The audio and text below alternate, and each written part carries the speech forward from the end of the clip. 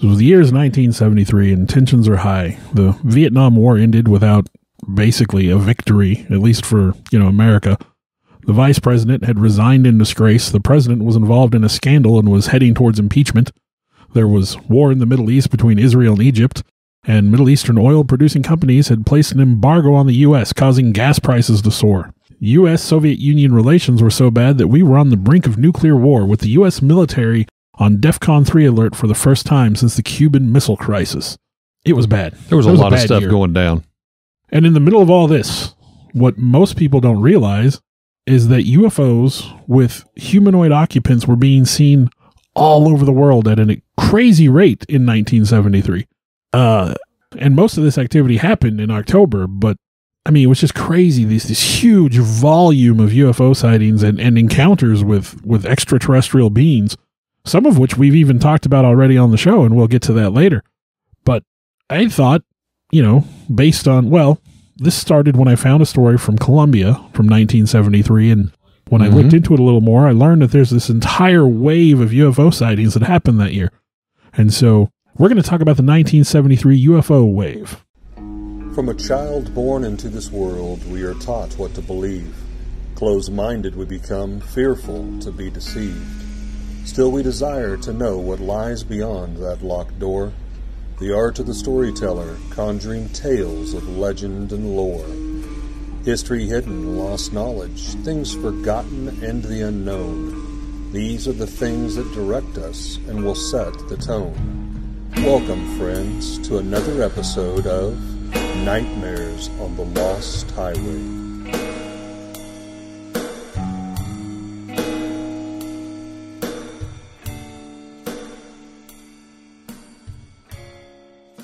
UFO encounters are nothing new from present day back to the 1973 that we're going to be talking about tonight. Well, and and before that even. So oh, yeah, Egyptian time frames. But to the fabulous 1940s UFO events, you know, that had Roswell, New Mexico, the UFO crash, which was, of course, as we've talked about, later changed to nothing more than a weather balloon. Uh, but as I said, all the way back to the time of ancient Egypt. But as Bill had already talked upon, there was just so much going on in the world of, especially you know, politics. Uh, to just set the pace, I just did some bullet points here. These, any one of these things is enough, but these are all bullet points of all things going on in 1973. Monday, February 12th, first American prisoners of the Vietnam War are released back to the U.S. Thursday, February 22nd, President Richard Nixon visits China. The United States and the People's Republic of China agree to establish this liaison uh, sites and start working together. Number three was Tuesday, February 27th. We haven't even left February yet, guys. The American Indian Movement occupies Wounded Knee, South Dakota. That's going to continue to build up through 1973. Still in February, February 29th, the last of the American soldiers depart from Vietnam. Number five, we jump to April 6th. Uh, this was the launch of the Pioneer 11 spacecraft rocket, which uh, you know launches this basically right into that great space race that I mentioned. Number six, Monday, April 3rd. Now we're still in April. President Nixon announces several top White House staff members have resigned due to the whole Watergate scandal. Uh, we jump to May 8th, Tuesday, a 71 day standoff between American Indian movements and federal agents end at Wounded Knee in South Dakota. Monday, May 14th, Skylab, America's first space station, is launched, and it's the very last launch of the Saturn V space rocket. Number 9, Thursday, May 17th, the Watergate scandal hearings begin with the U.S. Senate and are televised nationally. This was a thing of, you know, basically unheard of at this time. We're bringing all of this that's going on right to your televisions, to people's homes. Tuesday, June 26, 1973. Media reports that nine people have died due to an explosion in Russia involving the Cosmos 3 uh, M rocket. Number 11, July 16th, former U.S. aide Robert uh, Butterfield declares to the U.S. Senate hearing that President Nixon personally recorded potential confidential secrets. And we'll wrap up with number 12, taking us just to September 26th. The Concorde plane makes its first ever nonstop journey across the Atlantic in record breaking time. That's just a few of the major headline events of everything that's going on in 1973. Oh my gosh. And with all these news making events going on, you have a wave of UFO sightings around the world unfolding. Yes, around the world. Most of them happening in October. 36 out of the 55 sightings in the United States between August and December happened in October. Seven sightings took place on the 17th alone, two on the night of the 16th, and three on the night of the 15th. Was I it we had so much stuff going on, the aliens were just like, hey, it's like a drive in movie theater. We got to go check this stuff out. Or were we, you know, subterfuge and deflection? Was it the idea that Not like Oh, that's we ever happened. we, we got other things we want people looking at instead of all these look over here. Look over here. things.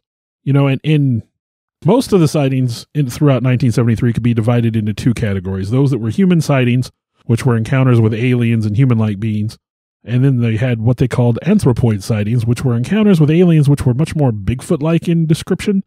Now, as I went through and cataloged the the encounters I wanted to talk about, I left out anything that was not a UFO or some sort of alien interaction that was obviously an alien. I did I did find a lot of stories about creature encounters. just weird Or- other stuff. One that was like almost a ghost type thing in the woods, and it was like, well, there's no association there.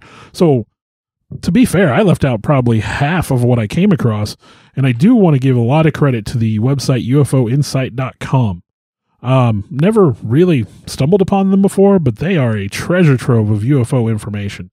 They had a huge article on the 1973 wave, and then within it, it had links to almost each individual thing Oh, and wow. I'm talking whole page descriptions of like each encounter. Wow.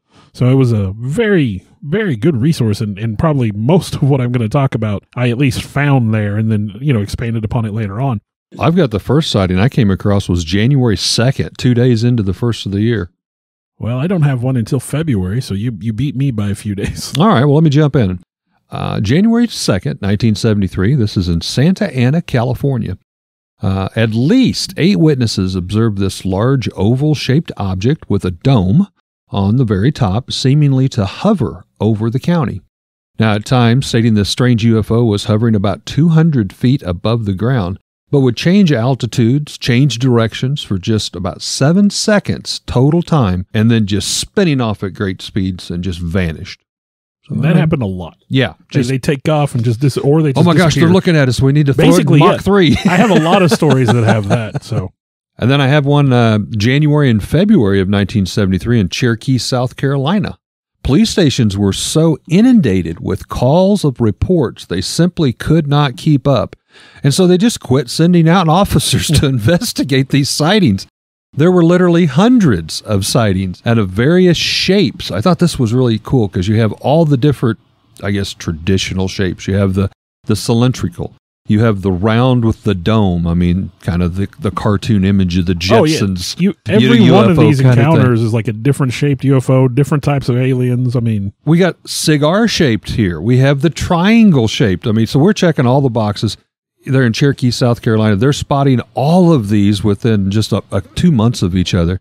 By the end of February, the UFO phenomenon had become so common and so popular that sky watching along the side of the roadsides, where you just pull your car out, take the family, pull off to the side, and get out and sky watch. You set on the hood, set on the trunk, and just you know, maybe have some early cameras, uh, telescopes, binoculars, whatever. They said that it was very common for any of the major roles. Uh, like in one weekend, they said there was over 50 cars that were reported on one major highway alone, just pulled off sky watching because it got to be such a common thing over Well, and, two months. And that was all around the country. Uh, Muncie, Indiana, in, in Ohio near Mansfield, uh, in Missouri down by Piedmont. Which again, we I'm going to get to all those. I'm, Yep. We're going to go chronologically here, as far as I mean, that's my normal mo, and I, I think that Eric's done the same. I thing. think that works great. I, I have one more in February. I didn't have the exact date, but it was at Wood River Junction, uh, Rhode Island. Uh, citizens by the dozens, here we go again, reported seeing what was described as a huge bright light hovering and moving around the sky of their community. Over 150 documented witnesses from all walks of life reported seeing this identical same thing. It was described larger than a vehicle, probably half the size of a normal home, and that it emitted a very bright light. It also was able to hover without making a sound for, for long periods of time, And most of the sightings seemed to take place in or around a United nuclear plant that was located nearby. That's a common theme with UFO sightings. Are they fueling up? Are they getting their power? Well, I think the theory that I like the most is that they're watching to see just how dangerous that we're going to be. Oh, So that's that's what they I- better buckle up. Well, mid February, with with no specific day, I have a motorist on a Mexican highway saw an illuminated object in the sky, which he described as a ball of light that overtook his vehicle.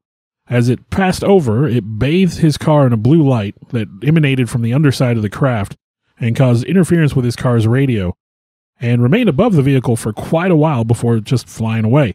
February 14th, a DC 8 cargo flight was traveling from St. Louis to Dallas. About 2:30 in the morning over Oklahoma, they saw what looked like another aircraft approaching them. The pilot and the co-pilot were watching as the object suddenly shot up towards them, came level with the plane, took a sudden sharp turn, and then was suddenly straight ahead of them, stopping at a distance at about 300 yards. So they kind of maneuvered so they wouldn't collide with it. They studied it as closely as they could, describing it as a, as a disc-shaped craft with a transparent dome on top with a highly polished silvery finish. The pilot used the plane's weather radar to confirm that there was actually a solid object directly in front of them. Now, as they approached it, the craft dropped 300 feet abruptly, just straight down. And as they passed overhead, they were able to look kind of down through the dome of the craft, and they could see two to three shadowy shapes, humanoid type figures See the pilots. inside the dome of the craft. And then as they passed over, the object vanished out of sight. So we jump to March 1st, 1973, a little area called Sailors Lake, Pennsylvania. There were 42 different flashing lights observed by multiple witnesses during a three hour period. All of the events took place over what is called Sailors Lake in eastern Pennsylvania. It's uh, right up near the New Jersey border, actually. A dozen witnesses observed the lights flying above and crossing the lake, uh, including one state trooper. Now, this state trooper, Jeffrey Hantz, was sent out to investigate some of the reports when he himself witnessed four of these flashing lights coming across the lake from west to east. Uh, he said, it, which it basically looked like a Christmas tree lit up that was flying. Uh, so I, I'm assuming this the triangle shape, you know, kind of tradition. He goes, these events continued through most of March 1973, so basically the entire month of March, but starting on March 1st, uh, over a three county area there in eastern Pennsylvania, making it one of the longest and with the most witnessed reportings of any other UFO sightings to date. Well, I have a couple more sightings from Mexico. In late March, multiple witnesses in San Pedro witnessed a luminous craft in the sky moving at an extraordinary rate of speed. And roughly a week before that, on the night of March 14th, brothers Juan and Ruben Hernandez witnessed a glowing round object overhead as they worked at the La Prieta mine. Now, the light approached the two men, causing them to run for their lives. They, they ran and they alerted other employees and supervisors. And these other employees came out and they went to investigate. They saw the strange object sort of hanging motionless in the sky for several minutes before it rose into the air and disappeared out of sight at tremendous speed. Uh, Rubin would later tell the press that the object vanished into an area locally known as the Zone of Silence, Hmm. which was known to have a history of strange sightings and phenomena. Well, then in April, aliens come to Missouri, our home state here. April 6th, 1973, in a little town, Ils- Ilsnior, Missouri. I'm not even sure where that's at, I'll be honest. Uh, at approximately 11.30 in the morning, um, a domed disc-shaped object, as it was described, with landing gear, portholes, also, you know, witnessable, lands in the woods about four miles from a small town in Is- Isleonor, Missouri. Upon investigation at the landing site, they do find three indented holes. Uh, this is presumed to be made from that landing gear, going with a large area of flattened foliage. So, like something had laid down. The landing gear had dug into the ground a little bit, but it had flattened all the foliage in that area. Now, they said this disc would have been somewhere probably in the vicinity of what they would call 15, 20 foot. So not a huge uh, saucer shaped with a dome, but said they did notice that dogs and stuff were barking in the area. They had noticed it. Some other local witnesses had uh, responded that they they thought people or something was trying to break into their houses. So again, here we kind of have the whole ET extraterrestrial movie concept. Maybe it landed, the aliens got out, and they were kind of around in this area looking in windows. There was all kinds of stuff that occurred that night of things that got later tied to this event. Then we jump just a few days later, April 10th, 1973, in Stoddard County, Missouri. Sheriffs and others reported at least three UFOs over what is Bernie and Dexter, uh, which were round, pivoting, and pulsating lighted crafts by the description that they give. And as they said, the crafts hovered and moved around. The lights changed from a white to a red to a blue. They moved erratically across the sky, different altitudes, different speeds, different directions, um, starting, stopping, changing the speed. And again, to like what Bill was saying, it was a very silent. There was no noise. Nothing was being emitted from it. Uh, so again, they came through Missouri uh, and moved on. So, also in April, I don't have an exact date again for this one, from Milan, Indiana, Reed Thompson had quite a bizarre encounter while he was at work in his auto repair store. Two strange men arrived. Men Very in odd. black. Very odd fellows. Well, it doesn't describe them as being dressed in black, but bear with me here. Okay. They each had a very disturbing appearance, according to Reed, and long hair. They wore tan jumpsuits and very heavy gloves, is the way he described them. When he spoke, he said their voices were mechanical and monotone, Oh, that's weird. like a robotic kind of voice. And they seemed to know all about a UFO encounter that he had had in 1967, right down to the exact day, and the fact that he had taken a photograph of said UFO Like seven years ago. and they demanded the photo and the negative from Reed. It sounds like Men in Black, but I'm not Yeah. sure about the long hair and These, these were men in tan. yeah, Men in Tan. Now, while this was happening, another employee of the shop he stepped outside to see if there was anybody else out there, and he saw what he said was a 1969 bright yellow Buick LeSabre with very dark windows parked in front of the shop. And when he's, he as he walked over to look inside, curious, he said the vehicle was completely empty on the inside, no steering wheel, no seats. What? When the two strangers came out, he, of course, backed away from the car. Um, but as he did, he bumped elbows with one of the men, and when he did, he said he immediately felt a strange sensation passing through his body. Now, uh, this employee, which I didn't have a name for him, strangely passed away suddenly two years later, and two autopsies were unable to determine his cause of death at the time. Wow. Now, Reed would have other encounters with strangers and their vehicle that year, uh, including one time when it appeared just inches from his bumper one day as he was driving to work and followed him all the way into the shop. And when he got out to confront them, a blue flash temporarily blinded him, and when he could see again, the car was gone. Straight up Men in Black. Look here. Yeah. Blink. Also in April, a flying saucer would land in the middle of a playground of a primary school in Ipoh Perak in Malaysia. We're going to travel a little bit here. And several tiny humanoids in shiny white suits emerged from this little craft. Uh, but when one of the teachers approached to see what was going on, they ran back into their ship and took off, vanished. We've had enough of you. We're out of here. On the afternoon of May 15 uh, was another pretty, uh, I would say, uh, famous encounter, which is the the Sandown. Uh, I believe it's called Sam the Sandown Clown, but it is sort of a weird alien esque encounter when you when you hear about it. And I had it on the list to do as an individual case, but I think it works much better as part of this bigger story. Uh, and this was on the Isle of Wight. Um, so We've talked about that before in other podcasts. Seven year old Faye was playing with a friend when they both heard a siren like sound. They looked around trying to figure out where the noise was coming from, and, and then they started to search. Uh, you know, little kids, they're curious, they want to know what's going on. They made their way through a hedge, and on the other side, they found like a swampy meadow. And as soon as they went through the hedge, the noise stopped. Now they started to explore this this area. I don't think they'd been there before.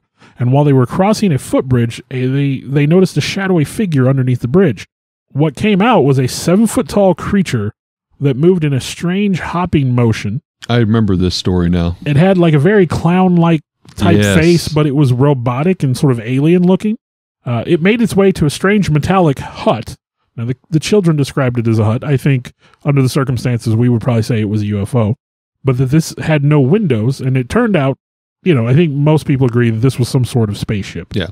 Um, a craft. this creature came out again holding an object that sort of resembled a microphone and um, it turned it waved to the children and asked if they were still there using the object as sort of a universal translator Uh, it took it had a short conversation with the kids, and then after their friendly interaction, the creature led the children into the metallic hut, which they said had two floors inside. And while they were Come inside, with us. We have candy. yeah, well, that's what I was thinking. I, I I'm dressed as a could clown went badly. robot thing. Yeah, while while inside, they continued to have conversation with this creature, and after about thirty minutes or so, they left the craft and they ran back home, eager to tell their parents of their their strange encounter.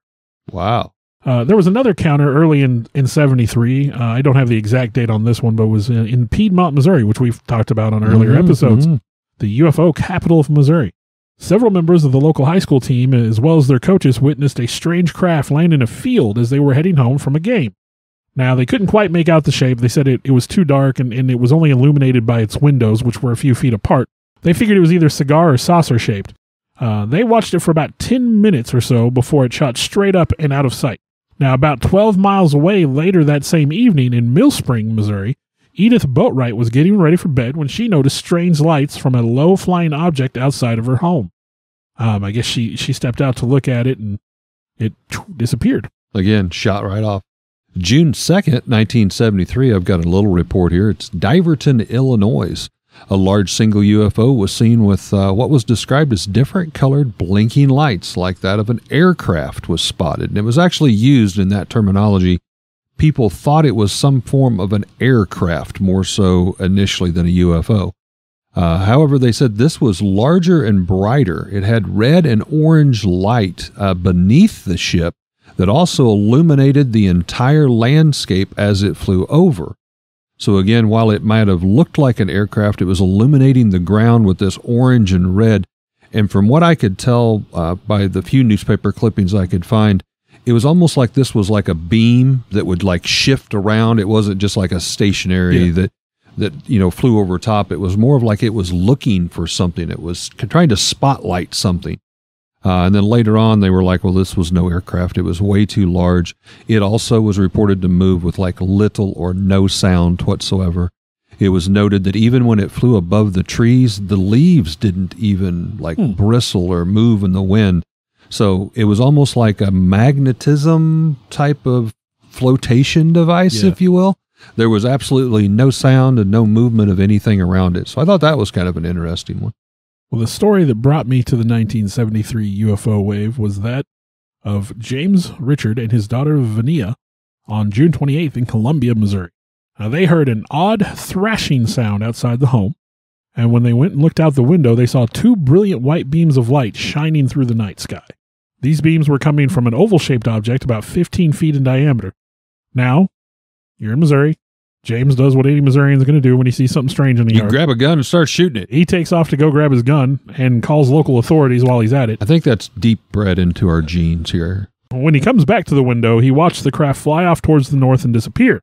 Now, the next day, investigators did find broken tree limbs, crushed grass, and burns on some of the tree leaves as high as 35 feet above the ground, as well as marks two feet deep in the ground. So, kind of similar to the one you told so earlier. it definitely landed and moved around and burnt tree leaves and uh, 4th of July in West Springfield, Massachusetts at 8:30 p.m. Cecily, the main witness of this encounter, uh, a woman in her early 70s, and this is not her real name. She did not want to be publicly associated with the story. very common at that time. A lot of people feel lends some credence to it. She didn't want any popularity. She didn't want any money. She just wanted someone to know her story. Uh, but she had stepped out to smoke a cigarette on the patio when she witnessed a large disc-shaped object descend through the treetops. It landed in a nearby field before rising and floating off just above the treetops. And she rushed in to go get her husband, but by the time they came back out, it had disappeared altogether. On July 7th in Odessa, Texas, multiple witnesses saw a disc shaped object hovering over a radio tower. Well, I'm going to jump into July 13th, 1933, uh, in the little town of Emdham, Missouri. It's about 3:30 a.m. in the morning. A witness was awakened by their dog barking, and immediately a UFO was spotted upon looking out the front door.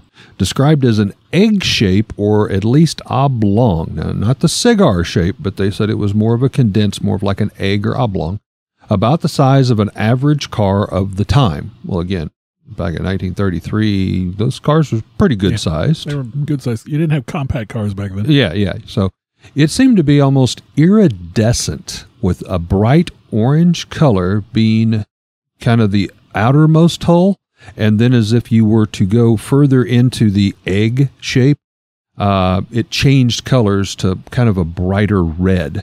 They said they related this to an egg because it was almost like looking at an egg without a hard shell. If you ever had chickens, grew up on a farm, I grew up on a little hobby farm. Occasionally, a chicken will lay an egg without the hard, you know, uh, ex- exterior. So you just kind of get this mucus bag. And that's what they said this UFO really looked like. You could see iridescence and it would change darker colors as it went to the inside. That's weird. Kind of creepy. Um, but they said this, the witness said that it had light being emitted, not, uh, had it not been so bright, it was as if you could almost see through it entirely. But this light was coming out of this egg. And they said it almost kind of illuminated the shadow, the shadow silhouette of a single pilot inside. Huh. That's weird. Uh, very weird. And they some people even said, well, it looked like there was veins that you could see. Ugh. So it was almost like Like a biological. maybe it was a biological alien esque, like out of the movie Aliens. Uh, August 9th, in Exeter, New Hampshire, a father and son were driving down the highway when they saw a UFO in a field on the side of the road, and they both clearly recalled seeing a humanoid figure standing outside of it. Well, then I have August through October down south. Alabama, Georgia, Louisiana, and Mississippi. They all had this rash of UFO sightings, and I think Bill's going to kind of detail some of these out. But from hundreds and hundreds of witnesses, many of which included various police officers, highway patrol, because this was over such a long period of time, they were getting help, asking for help from other states. Uh, it was described as this oblong, various colored, bright, brightly flashing light uh, plane slash UFO slash cigar that flew erratically in different directions, changing movement, speed, and almost like playful type, uh, like they were chasing each other across the sky. Uh, it wasn't, you know, it- it wasn't the norm. It was like there was multiples of these. They were different sizes, and Bill, I think you said you had some different sightings during that time frame down south. Yeah, I have a lot of sightings from the south throughout that time frame. Um, and I'll I, we'll just proceed chronologically. So it'll there'll be others that I drop in, obviously. So September 9th, several teenagers in Laurel Grove Cemetery in Savannah, Georgia, saw a UFO land, and I I kind of giggled a little when I read this story. It opened up a door and let out ten big black hairy dogs, which ran off into the night. oh wow. Now, they said it glowed brightly as it landed, and then it dulled as it came closer to the ground. Okay, I, I have to say this. Now, with you saying that, I'm an avid watcher, as you know, of many TV series. Uh, Secret of Skinwalker Ranch. Recently, spoiler alert if you haven't watched them, I'm going to let a little details here. They are encountering what they believe are dire wolf sightings. Huh. And when you mentioned the, the alien lowered its craft down, opened the door, and a bunch of big black hairy dogs they just released into the wilderness, yeah, they're finding some really weird stuff on the show. They're finding like bones with these huge bite marks that penetrated, crushed the bones that they said fits the description, the jaw pressures. So aliens are releasing these dire wolves back on us. But it wasn't just in the United States in 1973. Uh, you know, there was a hotbed of UFO sightings also in Spain and Belgium, Brazil, Australia, as well as other countries. But here's another pretty well known case in Iran uh, involving U.S. Air Force pilots, and that was on September 17th, 1973. It was just after midnight in Tehran, Iran. Two consecutive uh, United States F 4 interceptor planes attempted to capture a, wild, a widely reported UFO that had been sighted. This had been uh, reported all day long by civilians. Now, each time the pilots would make visual contact, they're up here flying around with it, they're actually seeing it out of their cockpit, and they try to home in on it with missiles to attack. Because again, you know that's that's what we do in the United States. We we don't know what it is, we shoot it. Uh, trying to focus in these missiles to attack this dome-shaped flying saucer. Uh, the electronics on board of both of their planes would malfunction briefly enough to allow it to escape so that they couldn't pinpoint. And this occurred over and over and over. Um, so again, this UFO escaped. They were not able to target it. They really weren't able to gather any more information about it. But I mean, here we have two Air Force pilots uh, that are directly involved with it, spot it not only on radar but you know physically up in the sky. and it playfully uh, maneuvers around them. But not only on planet Earth, not even in other countries. Here's another interesting one a tale from NASA from astronauts, September 20th, 1973. It was the 59th day of the flight of the Skylab 3. Astronauts witnessed and photographed a strange, uh, brightly glowing red source of light about 30 to 50 nautical miles from their current location in space. They noted it was brighter than any other planets around them. So it definitely stood out. They said it moved around. It wasn't like in a rotation, it wasn't slow. Uh, different altitudes, again, what we normally are describing as, as sightings here on Earth. Uh, it, it had all of those. They took pictures, they got video of it, they physically saw it at their little port windows. Uh, so UFO spotted in space by NASA astronauts. Well, just three days later, on the 23rd, in Puebla, Mexico, witnesses heard two loud explosions before seeing a bizarre glowing craft crossing the sky and disappearing into a nearby gorge. They said as soon as it disappeared, a noise that made the earth shake rang out. As the first two witnesses went to investigate, another local, Alfonso Hernandez, joined them, and he later reported seeing two living beings covered in fur like straw. Ugh. Later investigation to the site revealed damage that looked like it was caused by an avalanche that Hernandez said was not there when they first went to the scene to look at, at see what had happened. In late September, somewhere between Columbus and Mansfield, Ohio on I-71, a witness noticed a flashing light trailing behind his car, first on the right, then on the left, and then suddenly right in front of him. Then it sped off into the night ahead of him. Now, he was driving about 70 miles per hour at the time. It's important to note that because then he believes he lost consciousness for some reason. And the next thing he remembered was waking up behind the wheel going down the interstate at 90 miles per hour. Oh, wow. When he got home, he realized he couldn't account for nearly an hour of time and began to experience weird psychic episodes. He went out uh, to to go through hypnotic regression to try to understand what was going on. And in, during that process, he recalled that after after he'd seen the lights, he remembered driving along a, a lonely, narrow, tree-lined road for some time, and it was there that he saw three entities on the road, one in front of his car and two beside it. They appeared to be floating, and then suddenly there was a craft approaching from above, which, uh, before he knew what was going on, he was floating towards this craft. Then he remembers being inside of it on a table with the entities standing around him.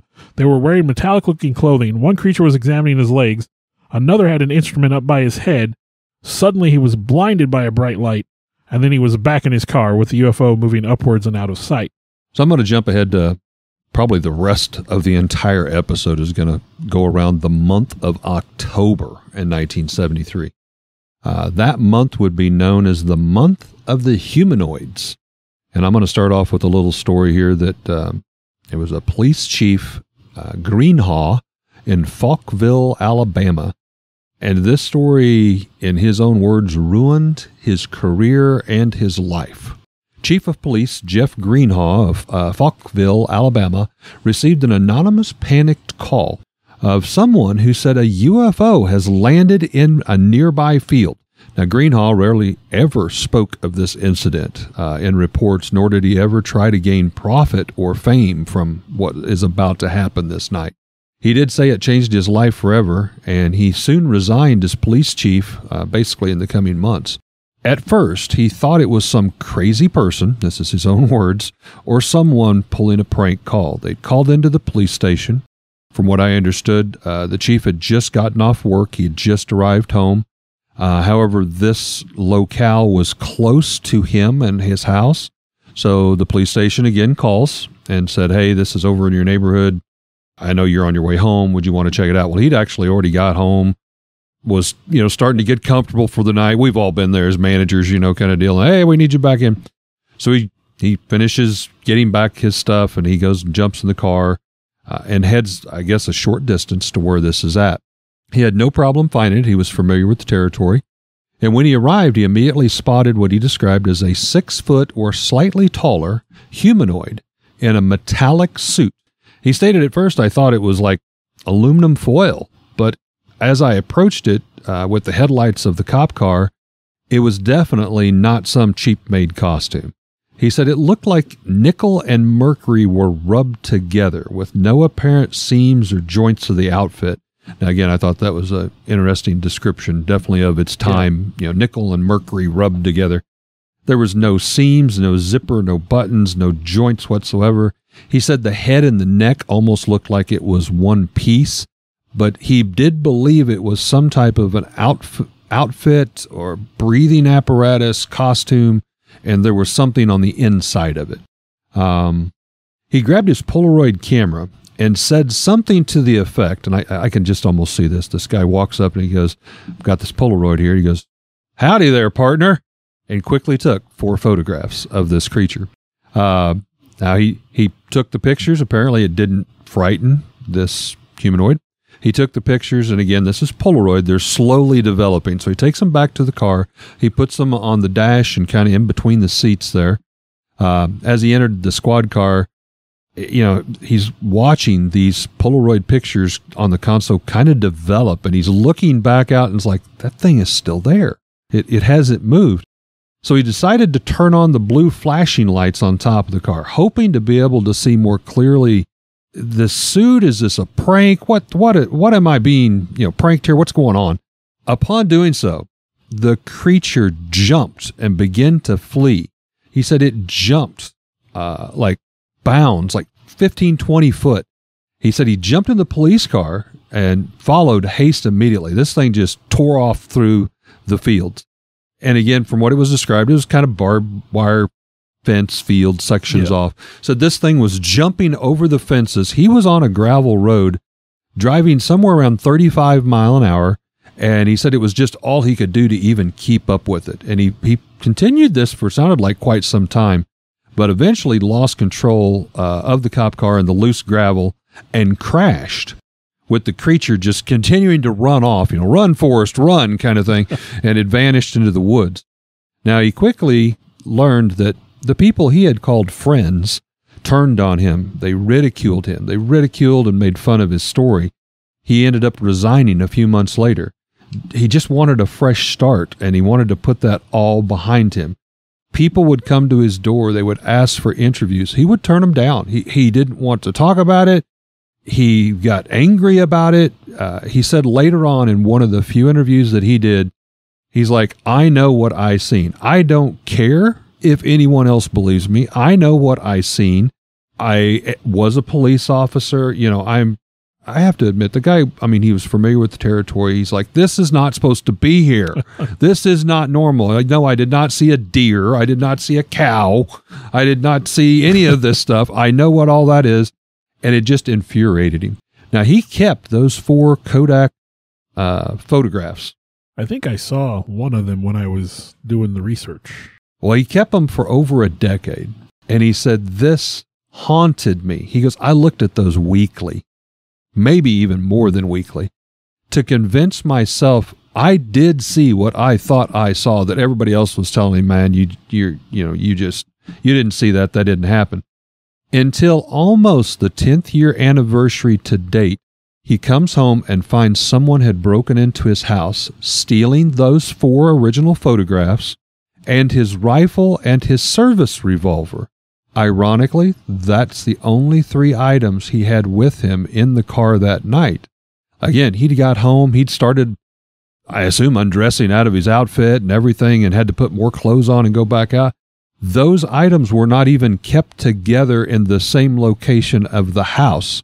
He's like, whoever did this, whatever did this, knew exactly the three items I had the, the pictures, my service revolver, and my rifle. That's the three things I had, and took them. They didn't take anything else. Wow. Um, so he, he said the burglar, in a way, seemed to cleanse him. Uh, he goes, I had nothing then to refer back onto. And that's when he actually started talking about it in one of the few interviews was after that burglary had taken effect. Greenhaw and his wife continued to live in the area. They did not move off. They ended up raising five children, three of which were adopted. So, I mean, they sounded like good folks, you know, trying to take care, but changed his life forever. Well, on t- on to more days in October. On the first, in Anthony Hill, Tennessee, during a thunderstorm, three teenagers reported seeing a huge, hairy, robot-like creature in the woods. What is the deal with these hairy dog robot things? Several other witnesses in the area also reported seeing a UFO over the area where the teens claimed to have seen the creature. Normally, I would have left that one out, but because there were other people that saw a UFO in the area. On the 4th, in Simi Valley, California, a witness driving along the Simi Freeway saw a triangular object in a dust cloud at the side of the road. On top of the craft was a clear bubble shaped dome that seemed to be swiveling around, and on the underside was a rope that looked to be hanging out of an opening. A humanoid creature appeared from the top side of the craft. It looked around, and then it like saw the onlookers and scrambled back out of sight. Uh, they said it was the size of a human adult and appeared to be wearing some kind of silver wetsuit. A whirring noise started, and then the bubble on top began to spin faster, and a fog appeared as if from nowhere and covered the craft. When the fog disappeared, the craft was gone. Like a cloaking device or something. You had said these hairy things, these Yeah. robots. We've talked about shiny. I'm sitting over here envisioning, is this Chewbacca and C3PO if they had a baby? I was thinking of the what was it the robot monster, the old sci-fi movie with the robot body and the ro- the or no the gorilla body and the robot head. oh, yeah, thing. yeah, the gorilla body on it. Yeah. Yep. It's like, Yeah. this is some weird stuff.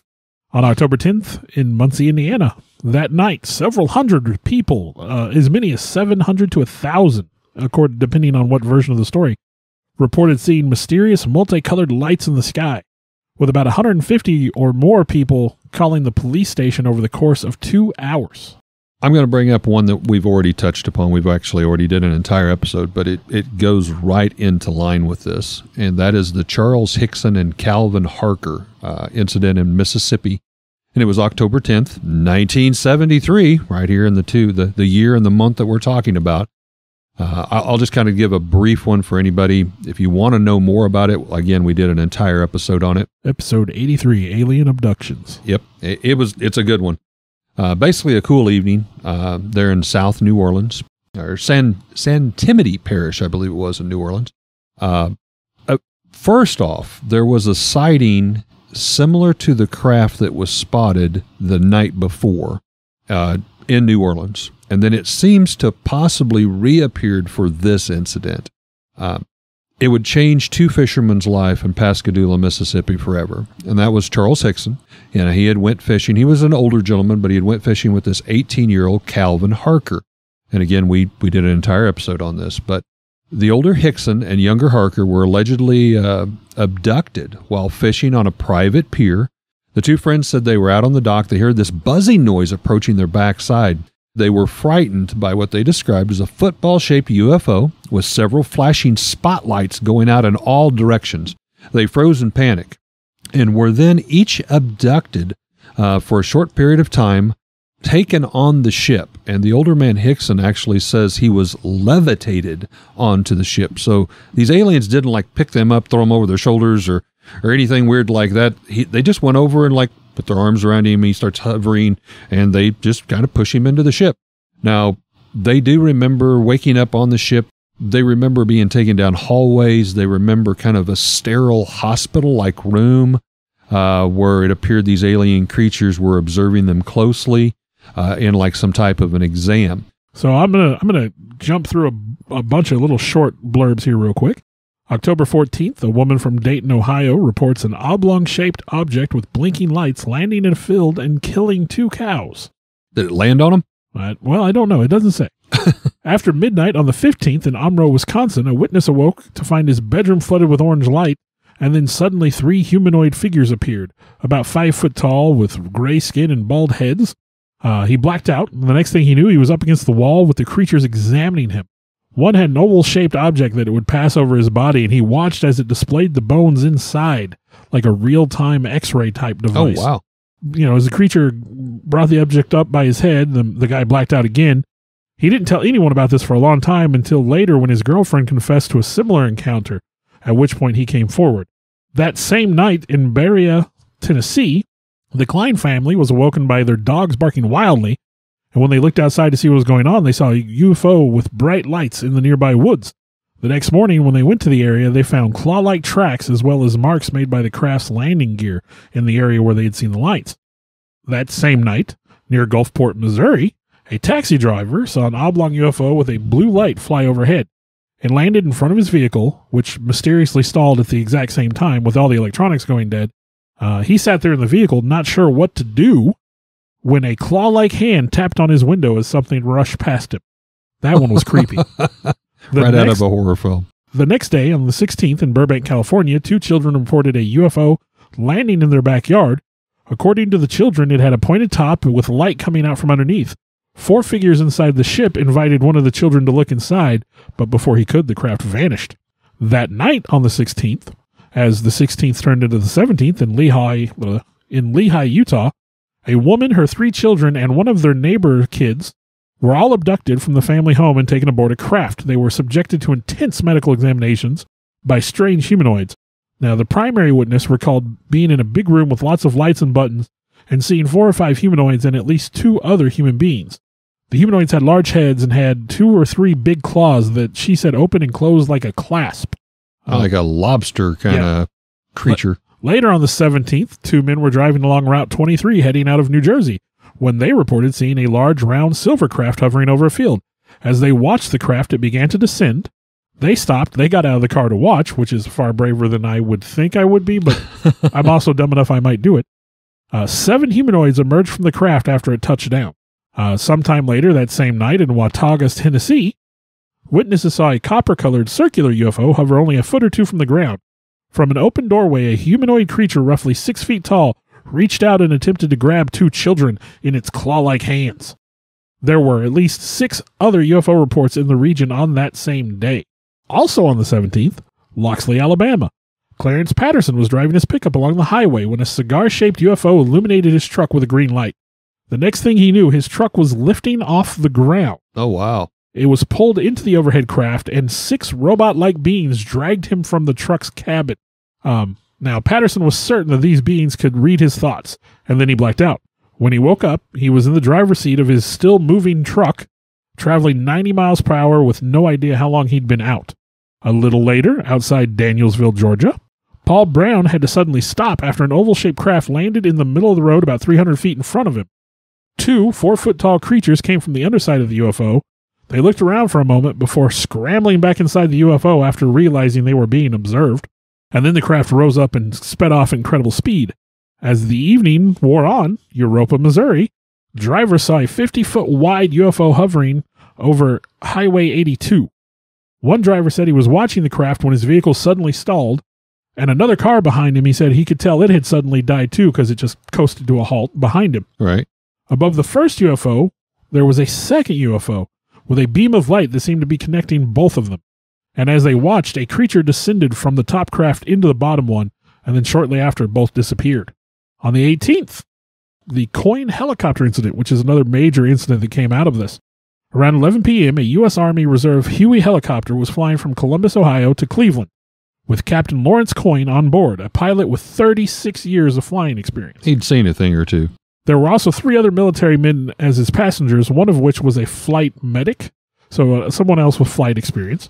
One of the men on board pointed to a light on the horizon, this red light, said it seemed out of place, and then it began to approach. The pilot took immediate evasive action to dive out of the path of the craft when suddenly the craft stopped midair. It was a cigar shaped object, slightly domed with windows along the top of the dome. It shone a spotlight on them for a moment that was brilliant green in color and then flew off over Mansfield and disappeared over Lake Erie. After the craft disappeared, the men in the helicopter realized they were 2,000 feet higher than they thought they were. Wow. Uh, they believed that the UFO had somehow lifted them up while shining the beam on them. Now, as if that wasn't enough, there were multiple witnesses on the ground that could independently verify this story, including a mom and her kids that were driving along Route 430, and they pulled over to watch lights in the sky and witnessed a green spotlight effect. Hmm. Now, the pilot of the helicopter, Larry Coyne, would go on to say, As a result of my experience, I am convinced this object was real and that these types of incidents should require thorough investigation. So we could probably continue to go on and on about other sightings, but I think it's time for headlines.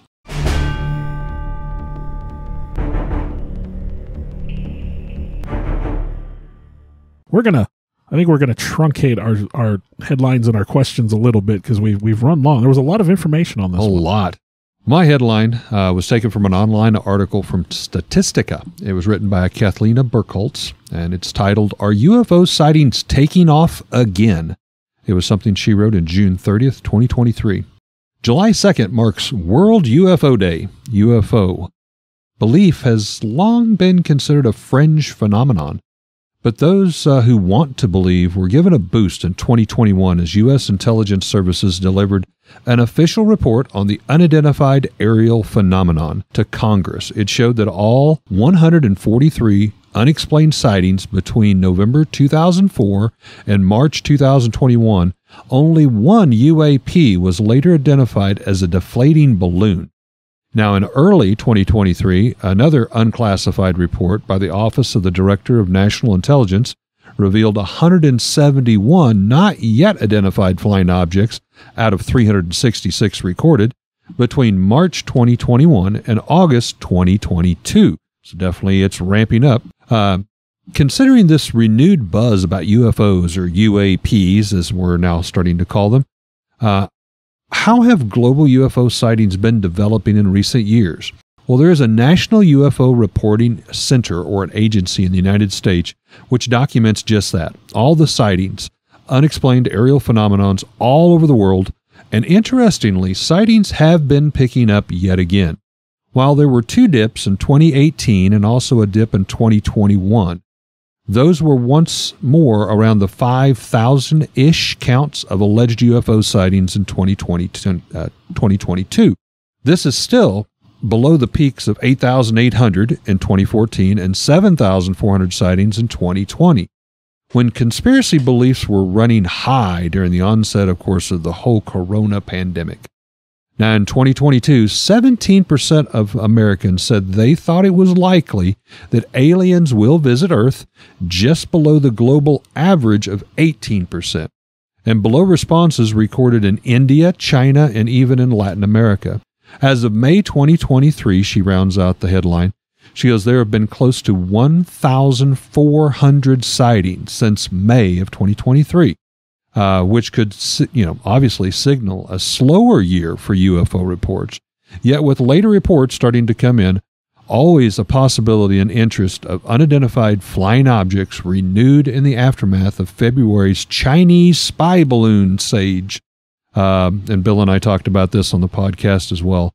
The jury on on that that year's UFO UAP frequency is still kind of out there it seemed like the water was definitely getting muddied. You know, why do we have all these spy balloons flying yeah. over the United States all of a sudden? And how are they making it so far?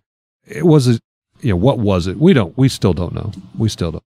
So, um, I'm just going to summarize mine real quick from MissouriNet.com by, Alice, by Elisa Nelson, dated June 14th, 2024. Greetings, Earthlings. Piedmont opens UFO capital of Missouri Park and it's exactly what it sounds like. Yay! Piedmont was voted Missouri's UFO capital, and they have opened a park that features such attractions as a 16 foot UFO, a six foot tall alien, and other playground equipment. Go, Piedmont. Uh, back last year, 2023, they held their first UFO festival and realized that there was just potential for for some tourism dollars in Piedmont because Why of what not? happened. Embrace it. Question time. Well, my question is What's the closest experience you personally might have had with anything, even remotely similar to what we've talked about tonight? Tonight? Or have you had something personal? Was at a friend's house. This would have been 2000 ish, give or take. And he said they had seen routinely like a strange object in the sky uh, above the field across the road from his house. And I was there one night. This is obviously here in Missouri. Yeah, here in Missouri, uh, um, Dixon area. Okay. And so I was there one night and we were watching, and he's like, "That you know, hey, look, there it is." And you know, so I start watching, and there, there's absolutely this strange light, and it wasn't flashing, so it didn't look like a regular plane, and it was just kind of moving.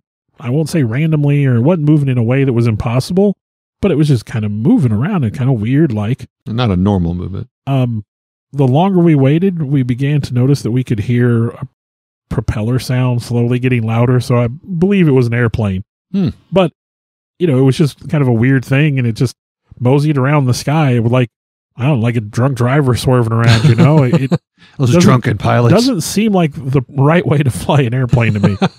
but yeah, it was, uh, we don't know why. And he said he'd seen it on a regular basis. So I don't know why there was this plane kind of drunkenly swinging around the sky over this field on a regular basis. But Well, and of course, with you know United States laws and everything, with a plane, they do have to have blinking lights on them. I mean, that is part of their identification. lights.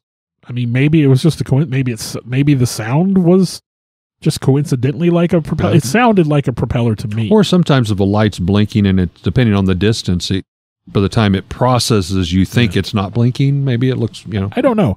Uh, we we never really could, you know, w- with certainty identify what it was because we could only just see the light, so we never saw a shape. Right. But Well, yeah, again, I mean that was probably the closest I've been. that's part of the fun is trying to understand what we're seeing. Well, my answer to that question is I've actually shared before on the show, but I, I will share the story again because I think it's fitting. Is uh, personally with my wife and I, it was about 1991 or 92, the best guess. We'd just been married a couple years. Uh, we were living in a little remodeled uh, mobile home with an addition down on her parents' uh, property, a couple hundred acres in Falcon, Missouri. And I believe we'd ran to town to get some groceries. I remember we, we had stuff we were, you know, got to carry in. So we had a little minivan and we pulled down this. Seriously, their driveway is like a mile long. I mean, it, Yeah. it's out there, it's in the middle of the woods. You don't have a lot of that light and stuff from town, and, you know, you have all the sounds of the country. But we drove down the long driveway, we'd parked the vehicle, and we got out. And the first thing we just, I think we had a bag of groceries in our hand, and we looked at each other, and it was just deathly quiet. I mean, you could have heard a pin drop. And that's saying a lot because one, we were out in the country, but we were literally a stone throw's distance from a two acre lake that her dad had dug. So, I mean, it was common to have frogs and fish jumping and, you know, none of that. It was just deathly quiet. And then all of a sudden there was a low light above us. And we we both looked up. I think she was driving, I was on the passenger side. We could still see each other. And there there was there was this disc, I'm guessing 30, maybe 40 foot around. And I would guess 200 foot up. Uh, definitely above the treetop area, but it was just like hovering above our car. It was making no sound. And there was some lights that were changing like it was getting ready i thought to do something. And we were speechless. We just just kind of stood there. I mean the whole incident maybe seriously lasted five seconds. It was very quick. And it just poof, just shot off. And that was it. We never had any other encounters. We quickly unpacked the car got inside locked the door because you know that's going to be the safest thing to do from any alien is lock yourself in the mobile home but um, we talked about it. We called the local uh, Fort Leonard Wood, which is not far away, and we did ask, "Are you guys doing like any type of weird, you know, flights or something tonight?" Like Not like they would have told would, us. Oh yes, we're doing a top secret, you know, flight. Yeah. We've got uh, backwards engineered UFOs that were flying over your house. Don't worry about it. yeah, it's like I, I think we just did that to check the box, but it's like, yeah, they're not going to tell us anything. And of course, they denied everything. So I think it was the next day we called down to Springfield, Missouri, the local television station, and they did say they had had multiple sightings called in of something similar in Missouri that night. But it was dropped, to my knowledge, it never aired on the news. Nothing was ever more said about it. But I mean, that's about as up close and personal as I, I thought we could get. Well, mine. Well, I had one question, but I think I changed my mind. What is your favorite? Like, I don't want to say science fiction. Like, I don't want you to think the movie Alien or Aliens or whatever. But your your favorite movie you've ever seen about like regular kind of alien UFO stuff, like a Close Encounters of the Third Kind kind of movie. I would be torn there. I, I loved the movie E.T. Ugh. I know. I know. I Hey, it's like my E.T.. initials, dude. Well, yeah, But I never thought next, of it that way. but- My second one, and it's not really traditional, but that's Stargate. Stargate, the original movie, just blew my mind. But it really opened the doors. I'm not sure if that was a good thing or a bad thing, but it really got me thinking. So that's my two part answer. when I was a kid, I liked Stargate. I don't think it aged well though. You don't. I don't. I don't like it. As I went back and now. watched it seriously like two weeks ago. Yeah, but you're obsessed. I'm weird. You love that movie to a degree that I I, even when I liked it, I didn't like it as much as you did. Oh, the whole ancient Egypt alien esque. Oh yeah.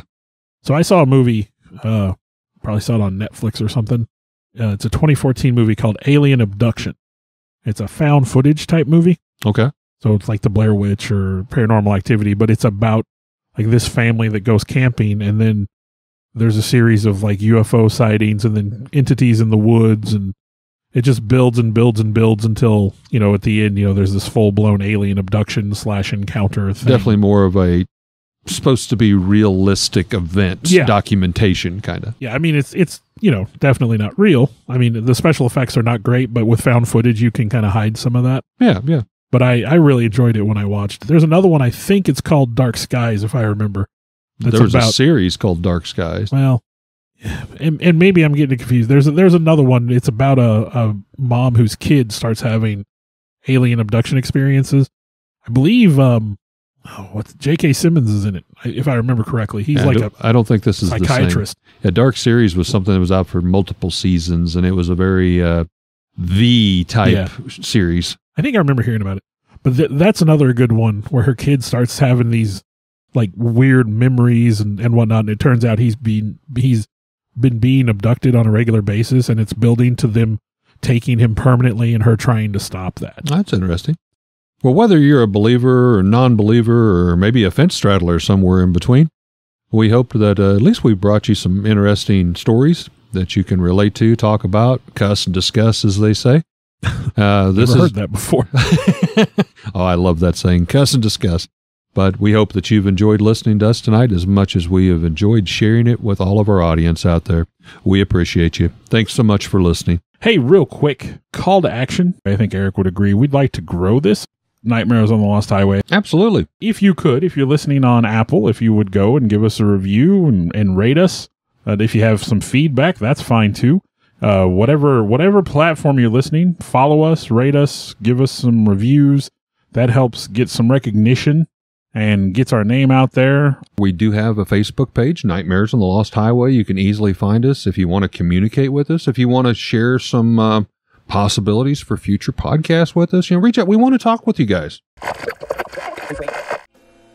Your long story short is longer than most people's long story. I'm a long-winded person, You were- Bill. You used to work with me. You know this. trying to summarize a story and you you you told almost the same story you did the last time. no, I'm dedicated. I like my stuff. That's I was yeah, I was like, I'll just let Eric summarize it and then you just told most of Told the the whole story. all over again. right in front and just above them. They said it was Shigar Shigar. I said it You said Shigar twice tonight. I'm not sure where Shigar is. I want to take a time to thank the people that helped bring this all together. Uh, Alex Tudor, you can almost call him our producer at this point. Sarah Tudor, who also helps with some of the technical stuff. I want to take a moment to extend thanks to Eric for letting us use his space to record in, kind of our makeshift studio. I, in turn, would like to thank Bill for one putting up with me and uh, using this camaraderie to do something we both very much love and enjoy doing, and thank Bill's family for allowing him to spend all the time to work and clean up our recordings and present them in what uh, you hear in the final uh, terms, uh, the final edition, if you will. And I'd like to thank all of you for continuing to, to listen. I know we've got some loyal followers out there. We do this as a labor of love, but we're we're happy that there are people that enjoy it as hopefully as much as we do. Thank you very much.